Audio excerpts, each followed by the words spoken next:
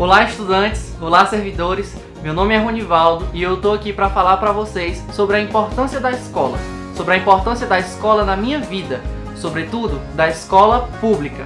Eu sempre tive uma relação muito forte com a escola, não só com aquilo que está dentro do currículo comum, mas aquilo que era proposto de extra.